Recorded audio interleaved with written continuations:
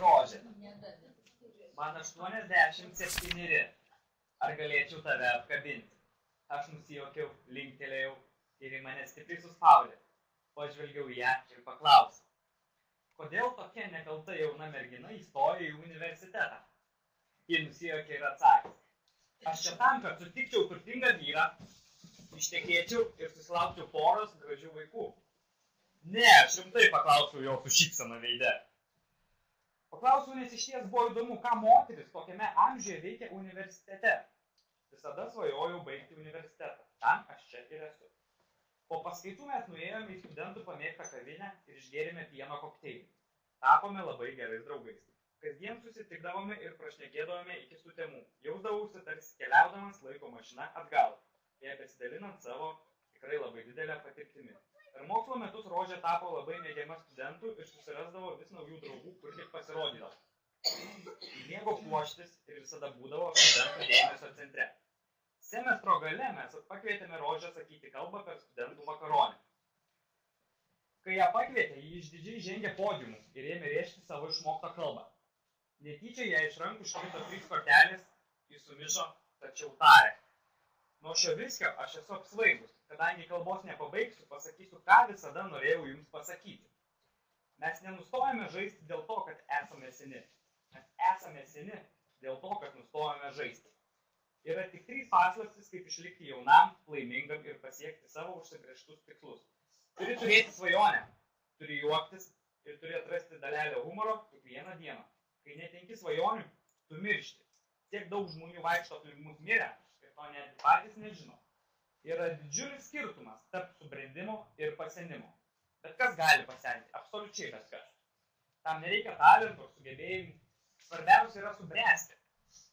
Rasti galimybę vis naujame gyvenimo suteiktame šanse. Mokslo metų pabaigoje Rožė pabaigė universitetą, po savaitės Rožė mėgodama mirė. Virš dviejų tūkstančių studentų atėjo į jos laidotuvės, kad paskutinį kartą atsisveikintų su moterimi, kuri juos išmokė pačios svarbiausios pamokos. Niekada nėra vėlu tapti tuo, ko tu nori tapti. Labą dieną visiems šiandieną. Iš tikrųjų.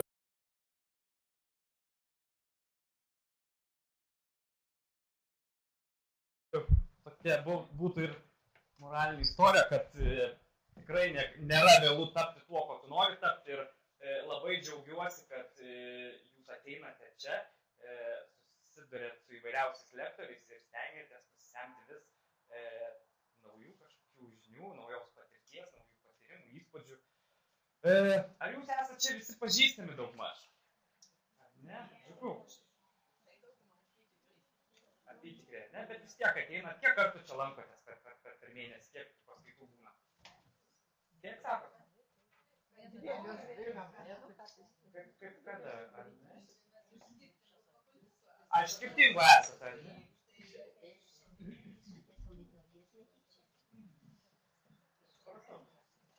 Iš tikrųjų, tai aš pradžiui šiek tiek prisistatysiu apie save, nes vis tiek įdomu, iš kur aš atvažiavau ir kas čia aš esu. E, tai jau kaip ir minėjo, kaip mane ir pristatė, aš esu Modestas Nugaras. E, esu kilęs iš Kauno, esu tikrai grinas kaunietis, vadinu save iki kaulų smegenų, kad aš esu kaunietis, bet šiuo metu keturis metus gyvenu Klaipėdoje. Tenais aš ir studijuoju, studijuoju Klaipėdos universitete e, suaugusiųjų švietimą, tai yra andragogika ir socialinį darbą. E, ką aš dar veikiu? Iš tikrųjų, turiu darbo patirties e, tokiose institucijose kaip Europos parlamentas, buvau Laimos Liucijos Andrikinės padėjėjas, E, dirbau Lietuvos Respublikos Seime, taip pat buvau Seimo narės padėjėjų. E, ką aš dar? Konsultuoju žmonės. E, mano konsultacijos yra apie tai, kaip žmonės jauni išgirsta lygos diagnozę, kad jų lyga yra nepagydoma. E, nes ir pats turėjau problemų, iš tikrųjų tai labai kerta per psichinę sveikatą, tai padedu jauniems žmonėms suprasti, kad gyvenimas eina toliau, e, kad jie yra lygiai tokie patys kaip ir sveiki žmonės, reikia nuleisti ranką. E, mano laisvalaikis, tai mano laisvalaikis, tai lankau tapybos kursus, iš tikrųjų daug sportuoju e, ir visi turbūt klausausi muzikos, einu pasivaikščioti, iš tikrųjų labai dėkinga vieta Klaipėda, kodėl man patinka, nes gyvenu prie jūros, iš tikrųjų dažnai lankausi prie jūros. E, na ir mano, šita veikla, paskaitos, tai aš vedu ne tik apie kartų skirtumus, bet vedu ir dar kitomis temomis, tai yra archetipų teorijos bei transakcinė analizė ir visos mano temos yra susijusios su santykių harmonizavimu. Tai ir šią temą iš tikrųjų, kadangi šiandien kalbėsim apie kartų skirtumus, pasistengsim šiek tiek harmonizuoti savo santykius su savo nūkais, vaikais. Ir būna, kad pasipykstat, ar ne? Nu, turbūt visi pasipykstat, ar ne? E, kaip atsirado pas mane ši tema? Tai iš tikrųjų turėjau tokią istoriją. E, prieš kelis metus e, su savo vadove diskutavau, žodžiu, aš turėjau išvažiuoti, na, pas merginą į kitą miestą, susitikti ir buvo labai svarbi man konferencija. Ir jinai sako, tai kaip tu važiuosi, jeigu tau reikia dalyvauti konferencijoje. Na ir kas sakau, iki konferencija. Čia niekas nenumirs, niekas negaus per galvą, ne aš gausiu per galvą, kad ten nedalyvausiu. Man vis smagiau į kitą miestą nuvažiuoti pas merginą. Ne, nu bet tai kaip, sako, palauk, tu pareigos žmogus ar ne? Nu, sakau, taip, aš pareigos žmogus. Nu, taip, bet tai aš sako, vis tiek nesuprantu. Sakau, tai aš tavęs nesuprantu. Ir tada supratau, kad va, įvyko tas kartų skirtumas mūsų dialogė, kad va, iš tikrųjų, kadangi jinai vyresnė amžiaus, tai jai tikrai jinai yra tas pareigos žmogus ir supranta, kad pramogos vėliau pirmiausia darbas. Na, o aš pagalvojau, kad gal vėliau pasirinksiu pramogas. Na ir pradėjau domėtis, atlikti keletą tyrimų, kaip čia yra su tais kartų skirtumais. Tai perėsiu prie skaidrių.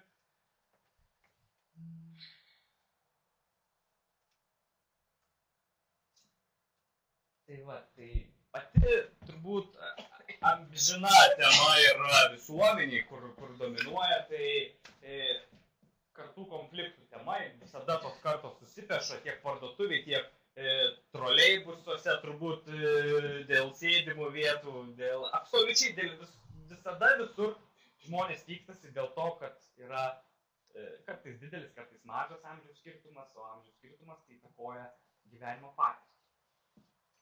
Tai minėjau, yra palydimai įvairių stereotipų, kurie gyvuoja visose gyvenimo srityse ir trukdo rasti e, efektyviausių skirtingų kartų komunikavimo būdų.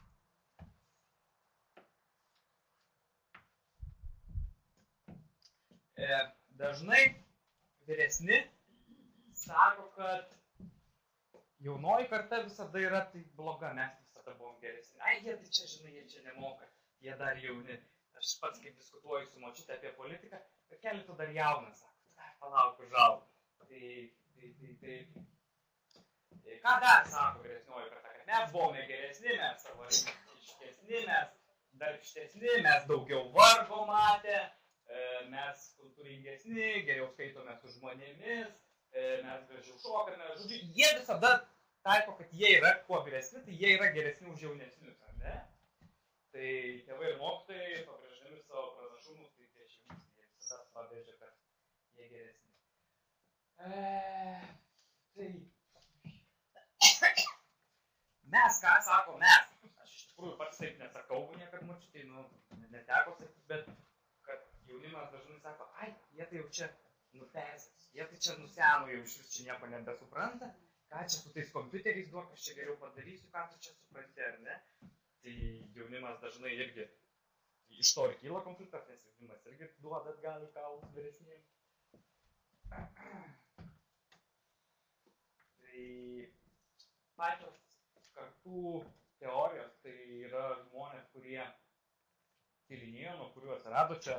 Jums parodau šiek tiek tokias istorinės ištakas, kad negalvotumėt, kad aš čia pats susigalvojau tokius dalykus kartų teorija, kiti vadina skurdelių sraigių kameleonų teorijomis, kultūrinių dimensijų teorijomis, tai žmonės, kurie, e, mokslininkai, kurie pradėjo tyrinėti visą šitą dalyką, kurie išvelgia, kad kartos labai daug duoda. Na ir e, ką tai mums pamatai apie kartų teorijas duos, tai duos, tai išmoksime paramos ir supratingumų kitų bei kitaip mąstančių žmonių atžvilgių, e, įvaldysime socialinio atsipalaidavimo instrumentus, kursime tolerantišką bendravimo atmosferą, mažiau pyksimės, aišku, išsiugdysime empatiją, išmoksim įsijausti kitus asmenys, turbūt jaunesnius arba dar vyresnius, jeigu tenka bendrauti su vyresniais žmonėmis. Ir šiandieną susipažinsim su pačiom kartom, kokios yra kartos, kokios dominuoja. E, ir pažiūrėsim, kaip kiekviena karta, e, kaip jinai žiūri tam tikrus kontekstus. Na, pavyzdžiui, politinis kontekstas, darbinis kontekstas, kultūrinis, kaip kas reaguoja ir kokią nuomonę turi, ar ne? Tai yra šitaip dar vadinama, vadinamos kartos, iš tikrųjų tie pavadinimai kartais būna skirtingi, bet e, aš ir paėmiau pavyzdį iš kitų mokslininkų, tai šitas kartas užvadinau taip, nes šitie pavadinimai dominuoja dažniausiai. Tai didvyriai karta, ar ne? Tai ta karta yra laimėtojų karta, kur iš tikrųjų jiems teko istoriniam kontekste, jeigu pažiūrėsim, daug kautis ir iškesti daug vargo, tai karta yra gimus nuo 1901 iki 1924. Toliau menininkų, kuriejų karta, tai dar kitaip identifikuojama yra tylieji, kurie kodėl tylėjai, iš tikrųjų, gilinausi, kodėl tylėjai, tai tie žmonės, kurie e, turbūt labiausiai prie visko prisitaiko e, ir net mano močiutė, kaip pati sako, kaip, palik, kaip, kaip radom, taip ir paliksim. Tai žmonės, kurie sugeba prie visko prisitaikyti, tai 25-42 metais gimė. E, pranašai tai kūdikių bumeriai, kada gimstamumas buvo didesnis negu dabar, tai 43, 60, e, X karta klajokliai, tai yra 61, 80. Pirmi tai turbūt greičiausiai yra jūsų vaikai arba netgi anūkai, ar negali irgi tai būti.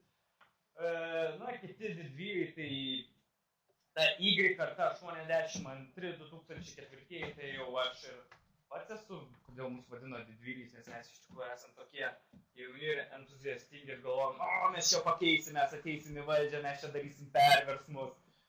Na ir Z karta, tai dar kitaip tie Google karta, arba dar kaip vadina dabar Facebooko karta, e, tai 2005 ir, ir 2023 metai. Tai jo, šita karta, jinai jau dabar pradėjo progresuoti ir dar bus čia jau greičiausiai jūsų anūkų arba vaikų vaikai arba anūkų vaikai, turbūt, manau, nu, tikrai yra žmonių, kurie jau turite, kas yra gimę 2000 metais. Na ir kartos, kaip vėl minėjau, tai laimėtojų karta e, 1901 ir 1924 metų, tai mes iškovojome jų pats pagrindinis šūkis. Kas kuo pasižymi laimėti? Ar yra kas nors dar šito gimimo čia 1901-24? O yra kas, ar yra kas, kelia ranką, o, o, o yra kas arti bent to 24, ar sunkiai, ar ne, turbūt. Aš atsiprašau turbūt, kad klausiu amžiaus čia jūsų, bet tai man labai įdomu. E, taip, tai pagrindinis e, tokie akcentai, tai kas dominuoja tuose žmonėse, tai darbštumas, atsakomybė, e, tikėjimas amžinomis vertybėmis, pavyzdžiui, krikščionybė, e, religingumas, pagarba šeimos vertybėms, e, kategoriškumas laikantis savo nuomonės, pastovumas darant sprendimus, iš tikrųjų, ko man pačiam labai mano kartai trūksta. Jiems gyvenimas tai yra kova ir noras laimėti joje, jie dideli optimistai net ir pačiose kritiškiausiose situacijose. Jų pagrindinis, kaip sakant, yra šūkis tikėjimas šviesi ateitimi, jų išlikimo pamatas, jie žmonės visada tiki, kad, tikėjo, kad e, rytoj bus geriau ir juos tas motivavo, gal kaip sakant, psichinė sveikata darė stabilės pozityvę. Na ir už savo įsitikinimų tie žmonės tikrai kovėsi iki galo, kaip partizanų žmonės tikrai netgi liejo savo kraują drąsiai. Tylioji karta, ar yra iš tyliosios kartos? Kiek yra žmonių iš tyliosios kartos? 25-42.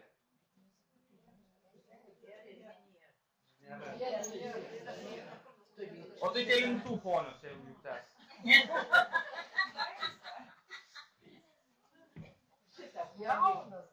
Taip, tai šita karta visada sako, kad aš užsidirbau, ir tu neliesk, čia yra mano, nes aš pats užsidirbau, aš negavau, aš neprašiau, aš nesiskolinau, aš užsidirbau, ar ne? Tai tylieji, kas yra, kas dominuoja pas juos tokios pagrindinės, kaip sakant, vertybės, tai yra orumas, kantrybė, ko vėlgi dabartiniai kartai labai trūksta, e, pasišventimas, pasiaukojimas kažkokiai savo veiklai, šeimai, vaikų auginimui, taupumas, lojalumas valdžiai ir paklusnumas, garbė, pagarba įstatymams, pačių taisyklių laikymasis, e, bendruomeniškumas, na, bendrumas bijo patirti gėdos jausmą, iš tikrųjų šitą kartą labai bijo gėdos jausmo.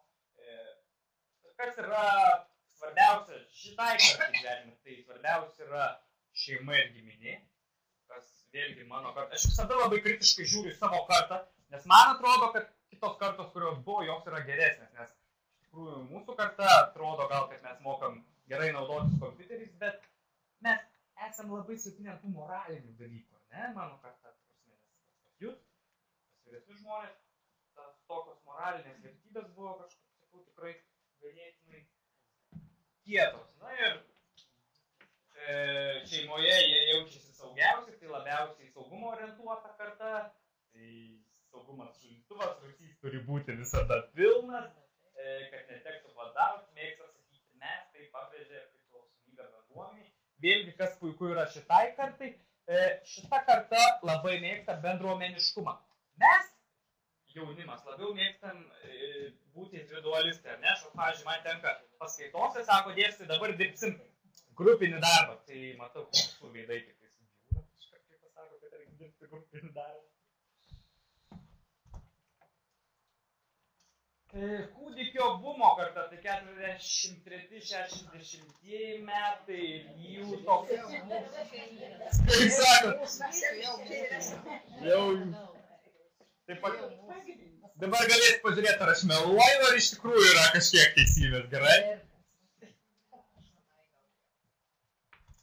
Tai va, kūdikio bumeriai, tai pas juos gyvenime, tai iš tikrųjų yra aistratas, šarmingumas, dėl ko tie žmonės buvo tokie labai šarmingi ir kodėl turbūt tų vaikų tiek daug atsirado. Aktyvumas, tai žydydumas, praturtėjimas, e, nusiteikimas būti jauniems ir aktyviems, e, laukia apdovanojimo už savo darbus, E, nebūtinai, materia, ne, nebūtinai materialaus užtenka kažkokio tais ar pagirimo, ar paglostimo, ar, ar tiesiog kažkokio tais paskatinimo. E, mokėjimas įveikti su, sunkumus ir kartais siekti rezultato, pati komandinė dvasia, ar ne? Teisingai. Nemeluoju kol kas. Kaip sakat, ponė? Na ir šitie žmonės yra darboholikai. Tai nėra blogai, Nes iš tikrųjų tai buvo laikai, kiek aš domėjau istorinėse ištakose ir iš močiutės ir tėvų kalbų, kad iš tikrųjų tais laikais niekas nieko už dyką ne, nepaduodavo, reikėjo dirbti sunkiai, ar ne? E, tai darbas buvo tikras hobis. Tai, tai, ta prasme, buvo tai žmonės, kurie mėgo darbą, tai darbdaviai buvo tai kažkas tokio, gal tokį žmogų šiais laikais turbūt, nu, neįmanoma. E, žmonės nesakydavo, ne, jie būtinai turi visur laimėti, mėgsta sakyti aš, tai pabrėžia, kad jie yra asmenybės. Šita karta, prieš tai kartą, kur pasakoju, jie sakė mes. Čia jau, jūs esate linkę šiek tiek į individualistus. Aš, pastrauk, čia mano, čia aš, čia mano. X karta tai 63-80. Pirmi tai aš to nusipelniau. Šitie žmonės iš tikrųjų nuotraukose matot su lagaminais. Šita karta yra migrantų karta, kurie jau turbūt čia savo laiku pasiėmė kažką geriausio, ar bandė pasiimti kažką geriausio, vieniems pasisekė, kitiems nelabai, bet visi, visi iš tikrųjų dauguma jų jau yra išvažiavę, nes kadangi buvo Europos Sąjungos stovas, jiems tokios galimybės buvo, kaip sakant, labiausiai tinkamos. Aš dar buvau per jaunas, kad išvažiuočiau. Taip, tai šita karta yra labai savarankiški, yra labai veržli karta, e, jiems e, prasminga tikrai yra labai karjera, jie tokie jau yra labiau materialistai, žinios, laisvė rinktis ir noras turėti alternatyvą visada, tai ką ir parodžiau su išvažiavimu, e, permainų iššūkių noras, jie visada nori kažko naujo, kažkokių perversmų, revoliucijų. Nusiteikimas mokytis visą gyvenimą, tai taip, nes kur aš mokuosi universitete, ateina žmonės to amžiaus jie yra labai motivuoti netgi keisti savo profesiją, dėl to ateina mokytis. E, tikiuosi, kur dominuoja e, kūrybiškumas, nestandartinis mąstymas, pasitikėjimas savimi, pragmatiškumas, jie visi nori gauti tokio praktiško. E, tėvynė ten, kur gyventi gera ir materialinė prasme. Tie žmonės, mažai laiko savo namus, na, kad aš čia gimiau, ar ne, man tėvynė, pavyzdžiui, bus visada Lietuva ir kur aš bebūčiau, visada mano šaknis yra Lietuva. O šitai kartai ne, geriau yra gyventi ten, kur jie gali nusipirkti daugiau maisto. E, labai vertina laiką, neskiria dėmesio nereikšmingiams dalykams, tokių kaip, pavyzdžiui, nereikalingų diskusijų. E, mėgsta sakyti tik aš, tai pabrėžia vėlgi savo individuališkumą. Na ir ta Y karta, tai čia jau, manau, gerai papilsiu žibalo dabar ant savo kartos, tai yra mano, kur visada sakau, aš to tikiuosi, aš tikiuosi, kad kažkas į valdžią teis, aš tikiuosi, kad švietimo sistema teisis, aš tikiuosi, kad mano močiutė bus tendencija pakelta ar dar kažko vis tikiuosi. E, taip, tai mano kartais tai yra galimybė aukti ir turtėti, tai ne tik materialiai, bet ir, ir, ir, ir, ir protą savo lavinį, iš tikrųjų galimybių daug, tik tai turėti aš kaip sakau, ar ne? E, Man svarbiausia yra asmeniniai tikslai, mes siekiam apdovanojimų iš kart, e, kai padarom savo darbą, ta prasme, mums visko reikia čia ir dabar. E, mėgsta virtualią erdvę, kurioje drąsiai bendrauti. Taip, mes iš tikrųjų, e, dėl tos virtualios erdvės, tai aš labai daug naudoju, žinot, kas, kas yra Facebookas, ar ne, nu, turbūt dauguma žinot. Ir aš jį nusprendžiau prieš, prieš kelias dienas tą Facebooką, kad jį reikia išsitrinti, nes e, taip diskutavau su savo draugė, sako, kodėl, vat, kodėl, vat, kodėl žmonės negali į užsienį, pavyzdžiui, laiškais rašinėti. Nes toks geras dalykas yra rašyti laiškus. Nu dabar iš kur gaunat laišką dažniausiai, jeigu gaunat? Iš kur? Kam skolingas, kas dar iš kur gauna, ar ne? Nu, iš policijos tikiuosi negaunat laiškų, ar ne? iš, iš mokesčių. Tai taip, dabar jeigu gauni laišką, tai gauni tas laiškas dažniausiai būna nemalonus, jeigu tu jį gauni, ir tu jį gauni dažniausiai susijusią su kažkokiu bankiniu ar finansiniu pranešimu, ar ne? Bet vat, negauni to laiško, to tikro tokio romantiško, iškvėpinto kvepalais, tokio autentiško, ar ne? Tai, tai va to labai mes pasigestam iš tikrųjų, ypač mano karta. Mums yra labai svarbus įvaizdis, mes visi madingi, tai prekės ženklas, jų garbinimo objektas, mes iš tikrųjų esam tie materialistai, kur garbinam tam tikrus prekinius ženklus. E, socialiniai tinklai tai yra įvaizdžio ir komunikacijos instrumentas, tai iš tikrųjų taip socialinis. Tam pačiam Facebook'e žmonės labai formuoja savo įvaizdį, nors jie ne visada būna tokie, kokiais jie tenais bando pasirodyti. Na ir visą laiką pabrėžia savo išskirtinumą ir kitoniškumą, kad visada kiekvienas mano kartos atstovas bando įrodyti, kad jis yra kitoks negu visi kiti, išsiskiria iš minios ir bando ypač tą darbdavį pateikti, kad jis yra toks ir geriausias. Jeigu kyla kažkokių klausimų, prašau mane nutraukti iš karto ir klausti. Gal kas net pakeis mane, užsimanys gal geriau už mano. Taip, na ir šita karta, kur greit ateis, ar jau jinai yra atėjus, bet jinai dar, kaip matot iš nuotraukų, auga vis dar. Bet kas įdomiausia su šita karta, aš turiu pusėserę, ar ne, jinai gimus 2000 e, dabar aš bijau, 2011 ar 2010 liktais, tai kas įdomiausia, jinai antiek jau, prasme, naudos planšetinių kompiuterių, ten su telefonu tėvų. Jo, ir jinai sto, stovi mergina ir braukia televizorių. Ta prasme, jinai galvoja, kad ir televizorius kanalas lygiai taip pat turi persijungti rankos mostą.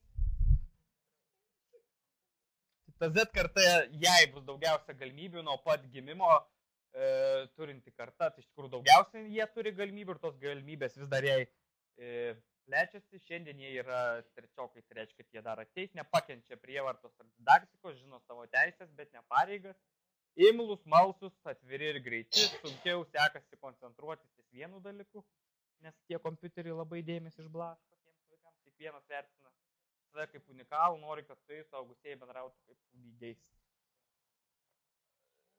Taip. Bet mergaitės, emociniai prioritetai tai yra grožis, žavingumas, motinystė, lengvabūdiškumas, sėkmė siekiant pageidaujamų dalykų, na ir kūrybiškumas. Ko iš tikrųjų kitoms kartoms kūrybiškumo šiek tiek, gal sakyčiau, netgi pritrūko.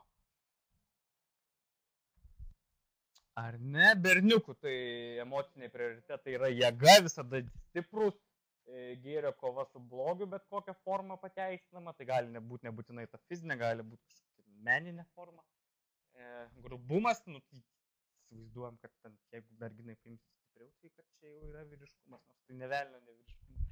Lengva būdiškumas, drąsumas, pranašumas prieš kitus, na ir meilė tik tai tiems nusipelnusiems.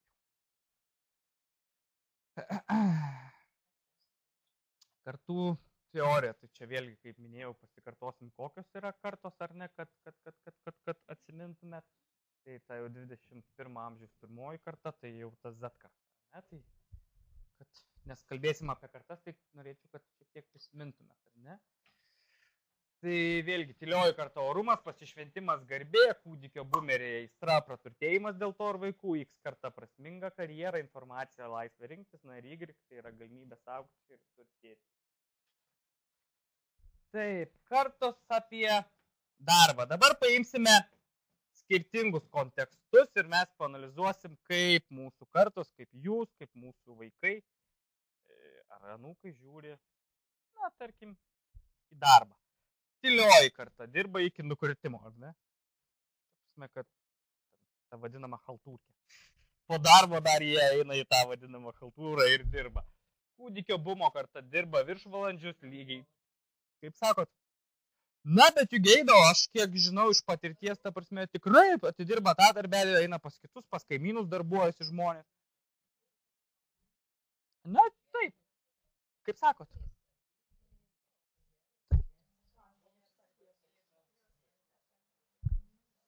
Kūdikio bumo karta tai dirba viršvalandžius, bet apie tai jums praneša darbas gyvenimo prasme. Tai X kartai pirmiausia, tai yra asmeninis gyvenimas, asmeninė karjera, tai tas turbūt e, X karta, kuri karta dirba tik tai savo, e, niekam kitam, pirmiausia, tai yra mano laukas, kad mano laukia auktų gėlės gražios, o antroji vieta tik tai yra darbas kitiems, na ir šios kartos atstovai, tai visi nori tapti, arba norėjo tapti kažkokiais vadovais. O Y kartai tai yra svarbiausia pats gyvenimo būdas, kaip nugyventi tą gyvenimą, gyvenimo prasmė, tai jau toks vat, labiau filosofinis požiūris į gyvenimą.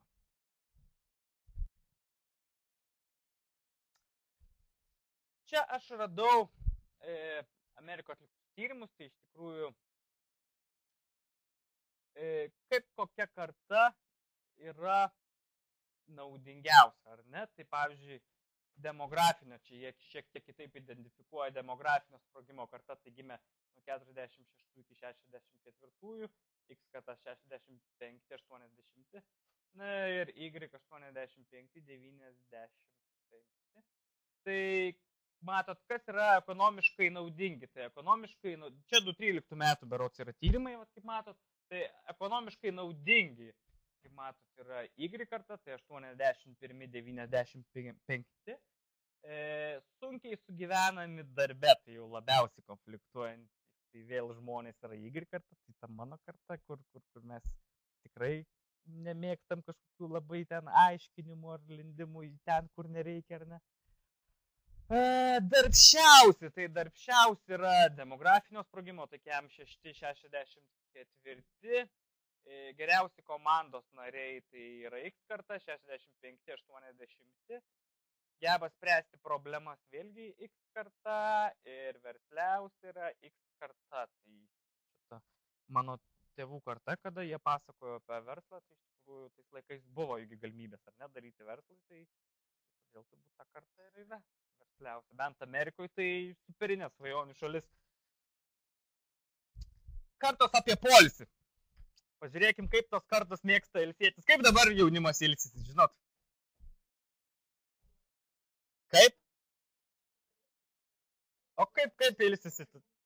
Prie kompiuterio, ar ne? A, kur bare, ar ne? Jo, dažniausiai dabar jaunimas kaip ilsis su alkoholiu, iš tikrųjų kaip tik politinės aktualijos e, teko žiūrėti laidą čia, vakar berot žiūrėjau dėmesio centre, kad išėmė alkoholį iš degalinių, tai turbūt mano kartai gal bus dar daug geriau. Tai, tai tylioji karta aukoja polisį ir arė, žodžiu, jiems jokio polisio nereikia, jiems reikėjo tik tai dirbti, dirbti, dirbti, dirbti ir dar kartą dirbti, turbūt tas darbas buvo malonumas. E, lab, iš, šiek tiek gal paliesiu sveikatos pusę, ar ne, tos tyliosios kartos, tai e, kiek iš jūsų turit problemų su, nugarytėm pakelti? Aš net pats galiu pakelti ranką? Ar ne? E, problemos su nugara atsirado tada, kaip atsirado kėdė. Tada, kada prasidėjo sėdimi darbai, tada, kada atsirado televizoriai, automobiliai. Bet žinokit, tylioji karta, mažiausia karta, kuri turėjo e, problemų su nugara. Nes tie žmonės visada dirbo, dirbo, dirbo. Dažniausiai darbai būdavo. Kaimuose jie buvo e, fiziniai darbai, ar ne tada, kada raumenukai dirbdavo ir, kaip sakant, jų nugaras būdavo sveikas.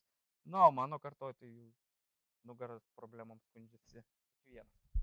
Na ir kūdikio boomeriai tai kartą nori palisėti, bet nelabai moka, visada jie ilsisi pigiau, ta prasme, nevažiuoja į tas keliones, o geriau apsiribuoja kažkokia, pavyzdžiui, palanga ar, ar savo sodų. Kaip sakot? Nu, iš tikrųjų galiu pasakyti, kad taip, kad į užsienį yra daug pigiau išskristi kokią Egiptą, negu ilsėti šiuo metu palangoje. O ypač dabar, kaip išsivedė euras, ar ne? Tai arba, nu, galima sakyti, viens prie vieno yra, arba tikrai brangiau. Tai X karta vertina polisį ir moka jį savo susiorganizuoti, keliauja, visada nori egzotikos, na ir Y svarbu apkeliauti pasaulį su mažom išlaidom, kas yra dabar labai populiaru. Tai mano kartoje tai apkeliauti tą pasaulį, kad kuo pigiau, ar ne, nu, ten susirandam pigiausią skrydį, kokį pigiausią viešbutuką, kuprinė ant pečių, ten mama pritepa sumuštinių, pridaro arbatos ir mes keliaujam kur nors. Kartos apie lojalumą, tai apie lojalumą, kitaip pasakius, apie bendravimo tą tokį gerą santykį, bendravimo gero santykio išlaikymą, tai tylioji karta visada buvo lojali, paklusni darbdaviui, kūdikio buvo karta. Taip pat jinai buvo paklusni iki tol, kol netenka kantrybės.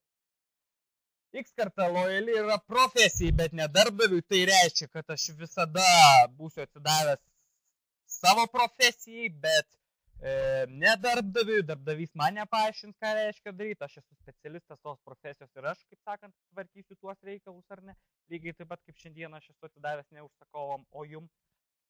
Na ir Y karta lojali savo karjeros galimybėms ir tik tai savo. E, tylioji Taip, kartos apie pavaldumą. Tai tylioji karta e, tvirta pavaldumo hierarchija. Iš tikrųjų, ta karta buvo labai hierarchiška, pripažinkite, tai, kad jau ten čia laikęs tų visų šeimos medžius, žinojo, kas ten proseneliai, pro pro proseneliai. Man šiandieną pačiam yra labai sunku įvardinti savo prosenelius, aš net vardų turbūt net neatsimenu. Jūs atsimenat savo prosenelius, pro prosenelius ar ne? Ir kaip, kaip, kaip, kaip jūs? Žinot, ar ne? Kaip sakot? Senelius. Žinot, senelius, prosenelius. O man su proseneliais jau yra, žinau, kad sudėtinga. Kūdikio bumo karta, tai pripažįstamas pavaldumas, bet norima suprasti, kas už ką ir kodėl, kur, kame atsako. Čia profesiniai daugiau srity. X kartą klausia, koks pavaldumo tikslas yra, kodėl man reikia būti pavaldžiam vienam ar kitam asmeniu, ką aš už tai gausiu, kodėl aš taip turiu daryti. Na ir Y karta svarbiausia, kad būtų už ką gerbti vadovus, tai jeigu vadovas yra geras ir jisai tikrai yra nuoširdus žmogus, e, ne tas toks orotariškas, kur trenkia į stalą ranką ir sako, bus taip ir ne kitaip, tai mes tokio negerbsim, mes gerbsim tą lojalų, draugišką, vadinamą lyderį, o ne vadovą. Na, matot, toks turbūt vizualiai parodytas kartų skirtumas, koks jisai šiuo metu yra tendencija. E, kas tas kartas motivuoja dirbti? Kas motivuoja dirbti? Kaip jūs galvojat, koks yra pats didžiausias motivatorius? Pinigai. Kas dar sakėt? Pragyvenimas, ar ne? Nu tai šiandien ir išsiaiškinsim, kas tas kartas motivuoja dirbti. Tai e, apie tylėją kartą tai informacijos nėra pateikta. Kaip matote, yra tik tai kūdikio bumo karta. Karta ir į kartą kūdikio bumoje kartoje, tai kas kitas, jeigu ne aš. niek daugiau šito darbo nepadarys, aš būtinai turiu eiti ir padaryti. E, tik aš tai moku, nes daugiau niekas kitas nemoka, ar pripažįstat? Pripažįstat ar ne? Ką mes be tavęs e, darytume? Didžiausias pats motivacijos šaltinis yra, kada vadovas ateina ir pasako, Jėzus, nu Petrai, ką mes be tavęs darytume, ar ne? Tai Petras jau viską padarys turbūt. Na ir moralinis skatinimas, o, material, o materialinis, tai jeigu bus galimybių. Tai iš tikrųjų, kaip kolegė čia girdėjau, sakė pinigai ir ne vien kolegė, tai mm, šitai kartai jums ne visada buvo svarbiausia pinigai. Iš tikrųjų, pirmiausia, tai yra moralinis tas paskatinimas. E, X kartai tai jau, jau materialinės gerybės ar ne, materialinis skatinimas jau tais moraliniais dalykais, kad ką mes be tavęs darysim, kas kitas, jeigu net tu jau vat jų nelabai palengsi.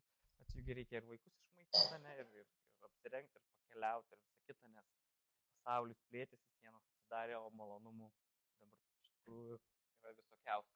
Na ir Y karta e, įdomumas darbe ir nauda ateičiai, tai iš tikrųjų man asmeniškai, aš visada atsiprašau, bet iš savo prizmės žiūriu, nes daugiau neturiu, nu, čia dar matau kolegą irgi šygri kartos. Tai svarbiausia, kad darbas būtų įdomus. E, aišku, idėjos į lėkštę neįsidės ir meilė vien sotus nebūsi, ar ne? Bet pirmiausia turi būti darbė įdomumas. Man tikrai yra tekę dirbti ir sunkių, ir, ir, ir, ir prastų gal tokių darbų, bet visada stengiuosi ieškoti kažkokio įdomumo, kažkokio vertybinio pagrindo. E, svarbiausia man darbė, kad būtų santykis gyvas su žmonėm, labai nemėgstu to techninio darbo ten kažkur fabrikuos, visada myliu bendrauti su gyvu žmogum, kažką jiems duoti, nes visada yra maloniau man duoti, negu gauti. E, kaip kartos mokosi, tai jūs kaip mokinatės, tai mokinatės, jums svarbiausia vien teorija, iš tikrųjų tai rodo tik tai internetiniai šaltiniai, moksliniai šaltiniai, su kuo sunku labai ginčytis, bet kadangi vedu paskaitas jau ne pirmi metai, tai galiu pasakyti, kad nėra svarbu vien ta teorija. Praktiškai yra kitaip, praktiškai reikia ir žaidimų, ir kažkokių pasikutenimų, ir juokelių. Tai, na, bet tai teigia tyrimai, nepasiginčyti. X kartai tai jau teorija su praktika turėtume derinti ir Y karta pageidautų, jau mes pageidautume be teorijos daugiau praktikos, nors, kaip sakant, neįmanoma gauti vien tik praktikos, yra būtina ir teorija. Na, o teorijos irgi vien neužtenka, reikia ir praktikos. Na, bet ką padarysime, tokie yra rezultatai ir, ir, ir nieko nepadarys. Stresoriai, kas, kas, kas daug, ko daugiausia mes bijom, kas daugiausia mums kelia streso, ar ne? Tai streso iš tikrųjų patiriame labai daug, aš šiandien netgi pats irgi važiuodamas patyriau stresą, galvojau, kad čia mane užmėtysit pomidorus, kaip atsistos. Bet dar ačiū Dievui neužmėtyt, gal dar užmėtysit. Tai tyliai, kaip sakot, kaip sakot, suvalgėt ar ne? tai po vieną atsidėstumėt, kur aš čia spėčiau vos pabėgti turbūt. Tai tylioji karta, ar ne? Kas tylioji kartai, tai patirti gėdą ir kitų nepagarbą, kūdikio bumo kartai prarasti prasme ir kitų pagarbą, jausti kaltę. Pats didžiausias stresas yra e, bus garbės, jeigu prarasiu garbę ar ne. X kartai prarasti savo į aš ir prarasti savigarbą, tai tą prarasti savo identitetą, e, savo tapatybę, kitaip sakant. Na ir Y karta tai pats didžiausias stresas mano karta tai yra gyventi neįdomiai. Aš visada sakiau, kad e, nebijau turbūt numirti nuo sunkios lygos, nebijau, nebijau badauti, e, nebijau likti ten be pinigų ar dar kažko, bijau nugyventi savo gyvenimą neįdomi. Ir yra kelia didžiausią stresą. Nu ir va, matot, kaip moterytė jau savo dvasinius reikalus tvarko telefonu.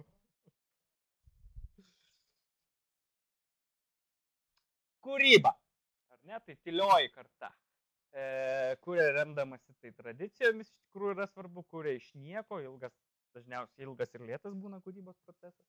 Kūdikio bumo karta, tai kuria, kai liepia, e, kuria iš savęs spausdama, moka save priversti kurti, tai kas man yra sunkiausia suprantama. Aš pats kuriu, pats kuriu eilės.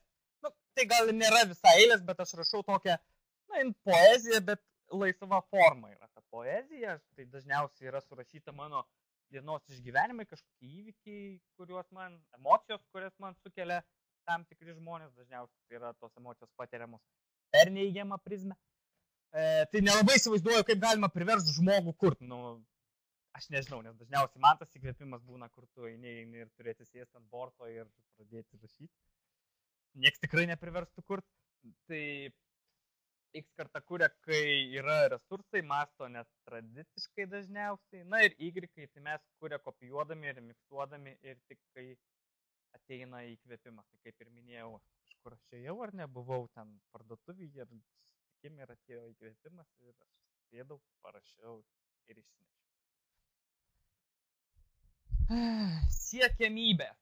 Tai pažiūrėkim siekiamybės. Tai vėlgi, petylėje kartą nebuvo informacijos, e, o kūdikio bumo karta, tai kas yra svarbiausia sveikata, geri santykiai šeimoje, ar ne? Pažįstat? E, finansinis saugumas, nes šitas dalykas sukuria psichologinį labai didelį saugumą vaikų sėkmė, kitų pagarba, pažinimas už atliktus darbus ar nuopelnus, e, X kartai pasitenkinimas, gerai apmokamų ir įdomių darbų, tobul, tobulumas, geras išsilavinimas, žinomumas. Jie įsivaizduoja, kad žinomumas yra iš tikrųjų labai didelė šlovė, nors tai yra ne visada. Pavyzdžiui, pasižiūrėjus televizorių ar ne, daug žmonių yra žinomų, bet tai ne visada, ypač mūsų politikai, jie yra šlovinami, nesvarbu, kad juos sužino ar ne, o nematau jau. Pykstelė. E, taip, na ir Y kartais savirealizacija, meilė, įdomus darbas, savasis stilius, pasitenkinimas, tai šitie dalykai šitai kartai e, tikrai yra labai didelė. Pati didžiausia sėkmybė Y kartai, tai yra mano kartai, yra savirealizacija, kad aš galėčiau kažkur save realizuoti. Galėčiau realizuoti save taip, kaip yra užkoduota mano prigimtyje, ar ne? Požiūris į politikus. Smagiausia, ar ne, turbūt tema. Šita tema turbūt niekad neįmanoma sutarti vienu klausimu, nes aš pats iš tikrųjų aktyviai veikiu politikoje, gal šiek tiek seniau daugiau veikdavau. Ir ten su močiute, ką nors diskutuoju ir vaikeli. Čia yra tavo nuomonė, aš turiu savo nuomonę. Taip, kad čia nereiškia, kad tu jeigu kažkur ten dirbi, tu čia žinai teisingai. Tai kaip politikus renkasi ta tylioji karta, tai myliu, nemyliu, arba patinka, nepatinka. Ir visiems neaišku, kodėl dažniausiai tos meilės prasideda nuo, dėl kad žmogus va, atrodo gražus, ar ten su gražiu kostiumu, va jaunas. Kūdikio bumo karta, tai arba tikiu, arba netikiu, arba pasitikiu, arba nepasitikiu. Tai ta prasme, arba aš tikiu, ką jis išneka, arba aš netikiu.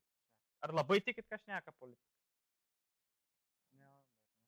na, jo, ta, tam politiniam kontekste iš tikrųjų e, visos, visų kartų, turbūt visos kartos jau mažiau tiki politikais, ar ne? Tai yra labai sudėtinga. Kaip sakot? Gaila, ar ne, sako? Na, yra tikrai Lietuvoje gerų politikų, negalima sakyti, kad visas 141 visi yra vagis, yra tikrai gerų žmonių ir, ir pats pažįstu. Tai, tai yra. E, X kartą tai arba tai yra naudinga, arba tai yra nenaudinga, tai arba jisai prims naudingą įstatymą, arba nenaudingą įstatymą. Na ir mano karta tai įdomu arba neįdomu, ar ne? Tai iš tikrųjų e, pagal Europos e, visų mastų darytus tyrimus, tai jaunimo berots politinėse partijose yra tik apie 8 procentus. Dabar aš bijau pameluoti, bet labai labai mažas procentas jaunimo, kurie apskritai domisi tą politiką ir žino, kas vyksta čia Lietuvoje. Tai va, vėlgi skirtingos kartos, kaip jos atrodo, vaikinukas jau su kostiumu. Į politinės manipulacijas, politiniai žaidimai, ar ne? Mėgsta tie politikėliai truputėlį mums tik įtakos meną, įsigumo kažkokį panaudoti, manipuliuoti. Tai tylioji karta visada tiki, kai kažkas kažką pažada iš politikų, ar ne, nu, ten sako, vat, mes pakabinsim pas jūs laiptiniai naują radiatorių arba išasfaltuosim kiemą, ar ne? Tokie pažadai dar žmonės tiki. Kūdikio bumo karta, tai piktinasi, kad kažkas bando apkvailinti, tai čia jau yra prieštara prieš tylėją kartą, kai tylioji karta tiki, kai žada. Na, o jūs visada jau galvojat, kad kai žada, tai čia mus bando jau apgauti, ar ne? Nors turbūt dažniausiai ir būna, žinot, puikų atveju su 1509 litais algos, ar ne? Tik kartą suvokia, kad kitaip politikoje neįmanoma ir kad šitą kartą galvoja, kad jeigu jau tu esi politikoje, tai tu jau turi manipuliuoti, meluoti ar dar kažkaip, kaip ten pavadinti, turbūt taip nesugadinti.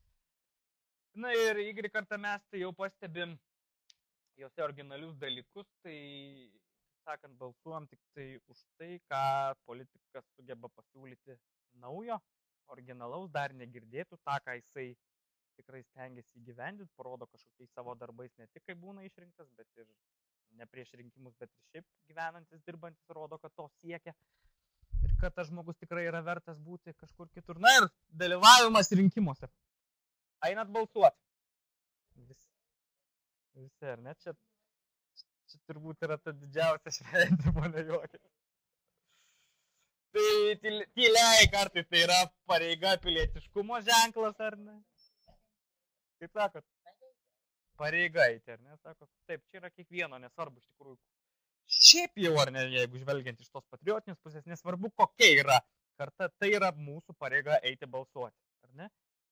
Tai turime nuspręsti, nes jeigu mes neįsim balsuoti, tai kažkas gali už mus. Nežinau, kaip tai vyksta. E, kūdikio bumo karta tai vėlgi yra pareiga, pilietiškumo ženklas, e, kaip ir tyliai kartai, x kartai tai pragmatiškumas, Gal bus naudos, jei ten kažkas ateis į valdžią, o gal ir nebus. Tai kaip ir minėjau, ta X karta yra pragmatiška ir visada žiūri praktiškai. Na, gal ten ir bus naudos, jeigu gražulis ateis tas Seimas. Bus, o gal ir nebus. Jeigu bus, tai aš prabalsuosiu, jeigu nebus, tai ai, neįsiu balsuoti. Na ir mano kartai yra būdingas apolitiškumas, iš tikrųjų mano kartos atstovai hmm, nusispjauna į tos rinkimus ir, ai, Koks ten skirtumas, sako, kas ateis. Koks, koks, jo, koks, vis tiek tas pats jau. Nu, jo, bet, man, bet, bet žinokit, mano karta ponė iš vis nesidominėt, ar sąrašas, nesąrašas, jiems yra neįdomu. Ir net nieks nežino tos politinės situacijos ir, ir vargu ar mano kartos visi vaikinai, merginos žino, kiek yra tų Seimo narių, turbūt labai, labai sabėjočiau, visi žino, kiek ten jų tiksliai yra. E, kultūra. Ar ne, kultūra, mes labai puikiai pa, pastebim kultūrą, ypač lipę į autobusą. E, troleibusai pas jūs nevažinėja ir net bijau dabar netgi nusišnekėti, nes kaune aš tai kaip augo, tai ten troleibus ir didžiausi konfliktai, kaip e, man čia skauda kojas, leist man čia atsisėsti, ne, čia ir aš irgi noriu sėdėti pats pirmas, užėmiau tą vietą ir susidarė tie konfliktai.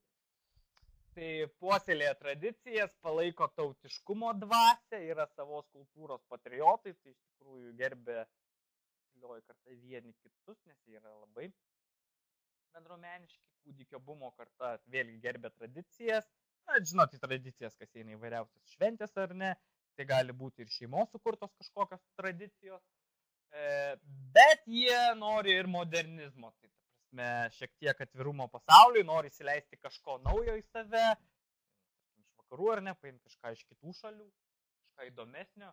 X kartą siekia modernumo, labiau orientuojasi į šio laikiškas, o ne į tradicinės vertybės, tai tiem žmonėm automatiškai, kada jie išvažiavo, kaip ir matėte, į užsienį, kad šitą kartą labai daug emigravusių buvo, tai, tai, tai turbūt yra normalu, kad tie žmonės parsiveža kažką naujo, integruoja kažką naujo į savo šeimą, kuri lieka Lietuvoje E, visada pamato, kaip yra kitur ir stengiasi padaryti ir pamato, kad kažkur yra kitur geriau, atsiveža pas save.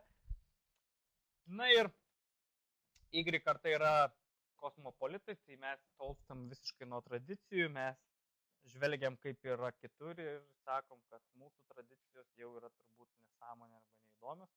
Nors tas yra labai skaudu iš tikrųjų, tas tradicijas, aš manau, kad jas reikia išlaikyti, puoselėti ir perduoti savo vaikams.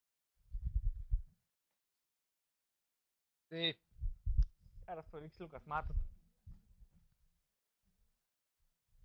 Kaip keitėmės, kaip, kaip, kaip, kaip iš tikrųjų keitėmės. Tai čia ta evoliucija pavaizduota, ar ne? Bet iš tikrųjų galime išvelgti ir kartų skirtumus, ar ne? Taigi buvo žmonės, pavyzdžiui, čia ar ne? tylioji karta, kūdikio bumo karta, kada vis tiek buvo darbas, žmonės buvo sveiki. Na ir mano karta jau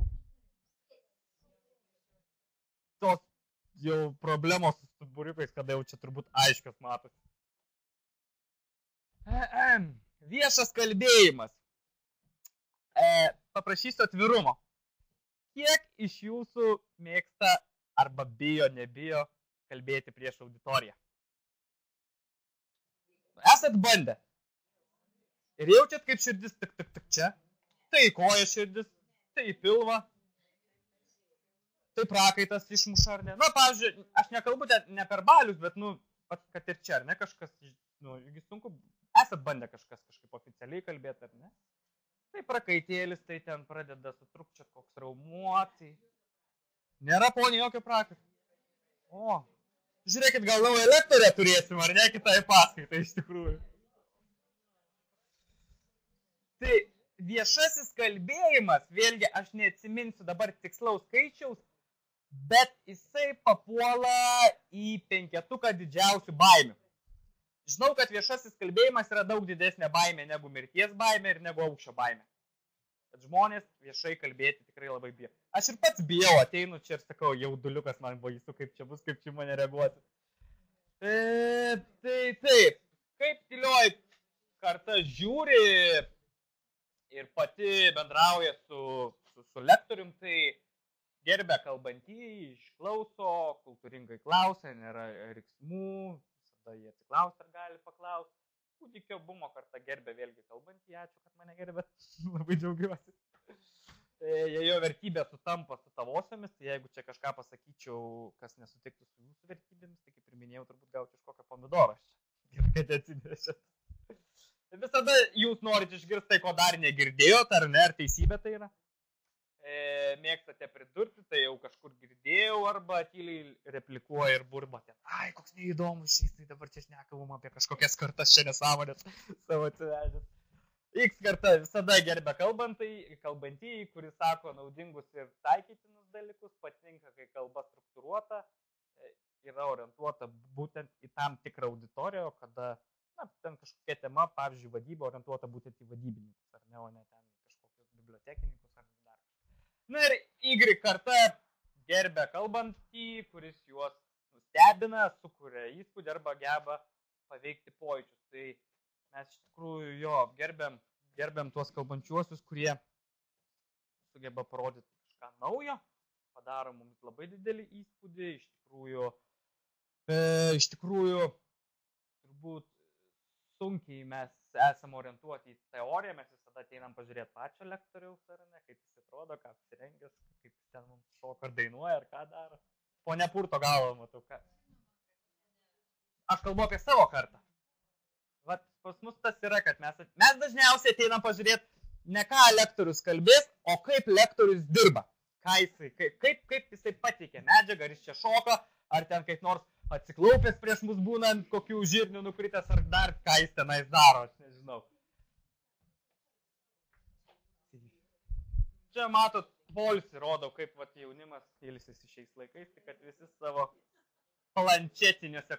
Iš tikrųjų, žinokit, kaip skaudu yra žiūrėti, kai ateini į restoraną e, ir matai, sėdi pora, užsisakė ten steiką, valgo, bet pirmiausia, kiekvienas savo kompiuterį nufotografuoja tą, ką valgo, įkelia internetą parodyti. Tai Tai žmonės pasilgs, to jiems pradės trūkti to tokio tikro fizinio bendravimo.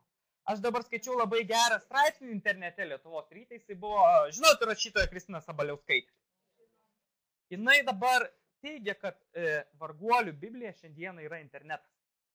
Ir kad internetas žmonės skurdina. Iš tikrųjų, aš sutinku su tuo, nes tiek daug nereikalingos informacijos mes gauname iš to. Kalbėjimo tempas. Tai čia vėlgi prie viešojo kalbėjimo, tai tylioji karta 70 žodžių per minutę, tai 15-17 kartų jie tai gali padaryti kūdikio bumo karta.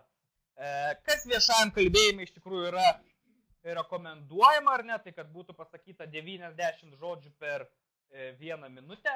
E, X kartą, ar ne, na, jau jie šiek tiek daugiau, 110 žodžių per minutę, na ir mano karta. Kaip sakot? Kaip sakot, ponė? Drąsiau, drąsiau, sakykit.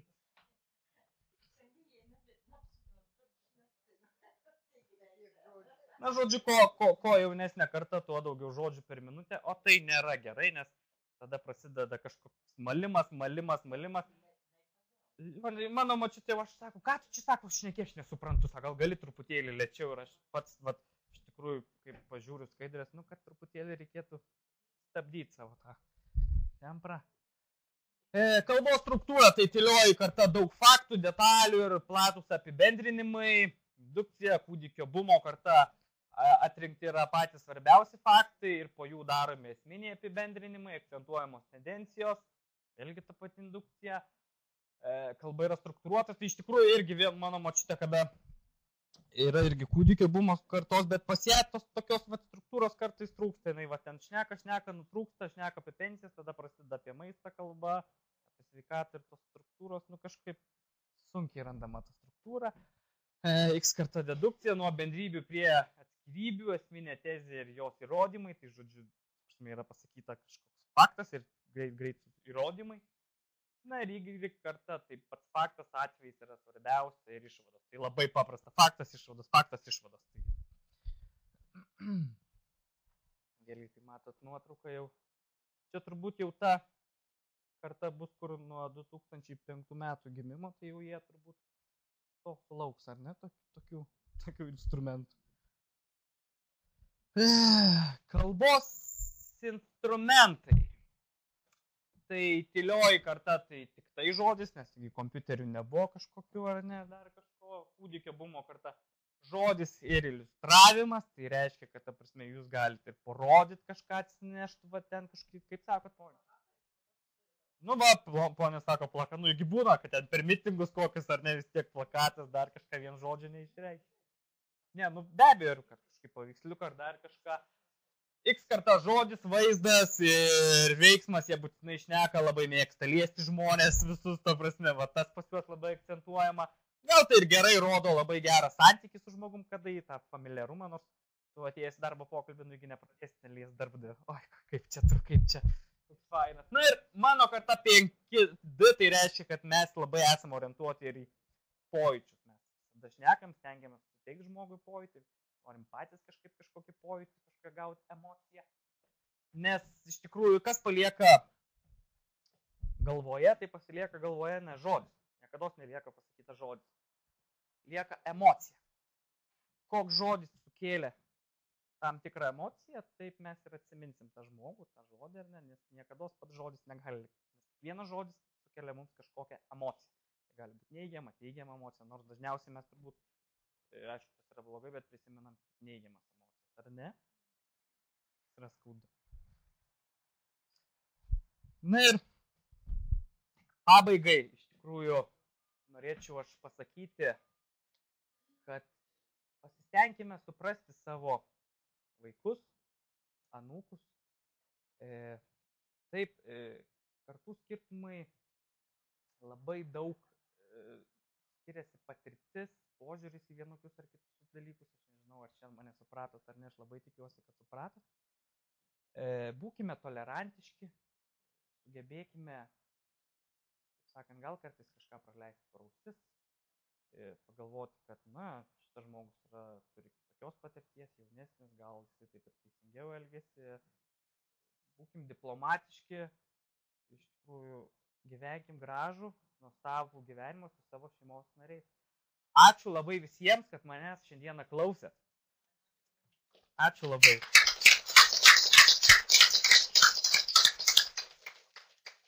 Ir jeigu yra klausimų, klauskit manęs, prašau. Taip. Aš keletą minčių norėčiau pasakyti. Prašom, prašom. Šitą Prašom, ateikit drąsiau į sceną. Ne, ne, ne. Labai ačiū Jums už įdomų pasakojimą, už visapusišką. Ir Jūs besiklausant, man e, kilo kelios mintys, o vis dėlto kas vienyje visas šitas kartas, Kas vienyje visas šitas. Kas vienyje. Šitas kartas dažniausiai vien... E, Nu, Aš Aš užbaigsiu. e, suprantu, vienyje kalba, žemė, tikėjimas. Gal aš po keletą sakinukų, nenorėdamas varginti, čia susirinkau su auditorija. Mūsų dabartinė lietuvių literatūrinė kalba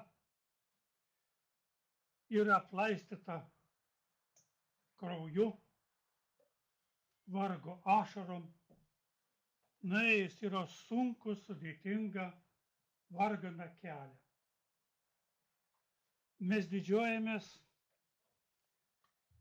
kalbame, kad pirmąjį lietuvišką knygą parašė Martinas Mažvidis savo katekizmą Prūsijoje, Ragainėje. O kodėl Ragainėje? Kodėl ne Lietuvoje? Prisiminkime mūsų istoriją. Mūsų Karaliaučiaus universitetas įkurtas 1544 metais. Mhm.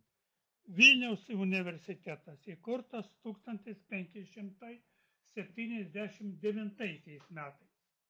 Skirtumas kažkur apie 30 metų. Nu, nesvarbu.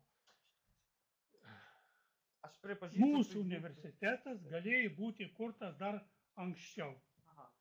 Pradžią davė tam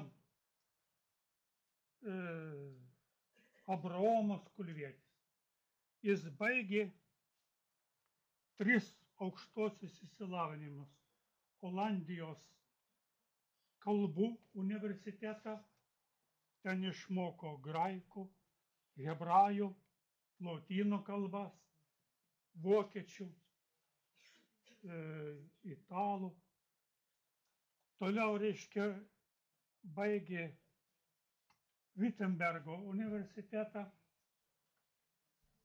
ir galiausiai Italijos, Italijos uh, sienos Ar universitetą. galėčiau, kol nepamečiau minties, atsakyti jūsų klausimą? Labai norėčiau atsakyti jūsų klausimą, gerai? Klausėt, kas vienyje, nes iš tikrųjų auditorija. E, tai kas mus vienyje? Tai iš tikrųjų tikrai su gerbiamu ponu sutinku, kad mus vienyje žemė, kalba, kuri iš tikrųjų sunkiai buvo kovojama ir dar mes kovojam, na, bet kalba yra mūsų gal šiek tiek daugiau yra jau atneštos anglų kalbos dėl to, kad, na, daug žinių ateina ir kita kalba, tai mes nuo to nesame apsaugoti. O mus kas vienyje, mus iš tikrųjų vienyje istorija ir šeima. Ir mus tas kartas vienys tiek žinių, ta prasme, tiek stiprybės vienys, tiek, kiek mes vieni kitiems sugebėsim perduoti informacijos. Todėl linkiu visiems perduoti daug informacijos savo nūkams, vaikams rodykite nuotraukas, pasisakokite savo tradicijas, skatinkite juos domėtis. Ačiū labai už klausimą. Puikus klausimas. Tai va jisai grįžęs e, Abraomas Kulvietis Vilniui, Vilniuje atidarė aukštesnį mokyklą ir ten jisai norėjo, supranti, įkurti universitetą. Dar yra klausimų, matau, ar ne? Aš tikrai padiskutuosime, jo, bet dar turiu. Ačiū labai Jums, iš tikrųjų labai malonu už geras pasisakymus, džiaugiuosi labai. Taip. E, kartų.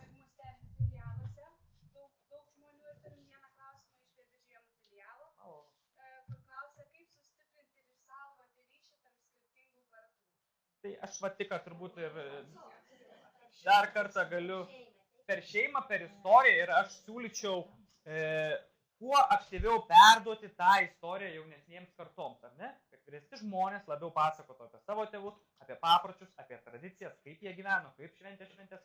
Tik tai per istoriją tu gali sustiprinti ryšį tarp kitų. Tiek, kiek tas žmogus paliks jaunesniai kartai, tuo ta karta bus stipresnė ir surišta su kita karta. Ačiū labai už klausimą, puikus klausimas. Nu, matot, kaip yra su šiandieninė televizija. Šiandieninė televizija yra labai populistinė ir jinai nu tos istorijos. Be abejo, LRT televi... kanalas tikrai parodo gerų ar ne laidų istorinių. Istorijos detektyvai tikrai puiku, bet, nu, labai sunku. Patys geriausi, realiausi, nuoširdžiausi faktai yra tai, ką močiutė gali perduoti savo nū. Ačiū. Ir dar tada noriu pakviesti švietimo centro direktorę Ramutę. Galite Na, tai ne. Na, tai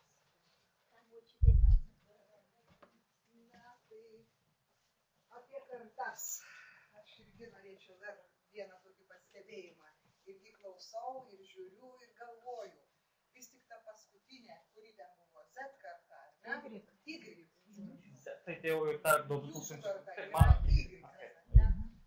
Tai atitrūkę nuo papročių, nuo tradicijų. Na ir iš tikrųjų, kas, jei ne mes, seneliai, tuos savo anūkus ir proanūkius tradicijų mokysime šeimoje. Galbūt mes turime būti labai kantrus ir e, jo tokį jų atmetimą priimti kartais. Bet aš manau, kad e, mes tai galim padaryti. Ir ant tos mūsų kartos, tų kūdikių bumerių, labai didžiulė atsakomybė. Kad šitie Y ir, ir Z karta atėjusi iš tikrųjų nebūtų, nesibaigtų kaip tas paveikslas, kurį jūs rodėte. Nuo bežionės, tiesus. Ir man taip norėjusi tenai, kur už kompiuterio buvo, kad vėl bežionė. Jeigu, jeigu tie visi, nu, mes, taip jau pasakysim, nuo mūsų kartos, kad mes nepadėsime tiems mūsų zekam, zetams ir, ir, ir nu, mes turim ilgai. Esat visi reikalingi mum jaunimui. Na, o jeigu klausimų nebus, aš irgi padėkočiau Modestui už informaciją apie kartas. E, Naudinga buvo sužinoti. O 26 dieną, ar ne? 26 dieną mes mokėsim, sakėt, sunku kalbėti viešai. Mes mokysimės viešai kalbėti. Tostus, sveikinimus ir, ir apskritai tikrai laukiame visų ateinant, nesigailėsim. Vaikų biblioteka, ir taip, vaikų biblioteka, kad neteitumėt vėl čia iš įpročio. Bet tikėkime, kad bus elektra ir mes jūs, jūsų srautus teisingai nukreipsime ten, kur reikia. Taigi ilgai gyvenkime. Ačiū dar kartą visiems.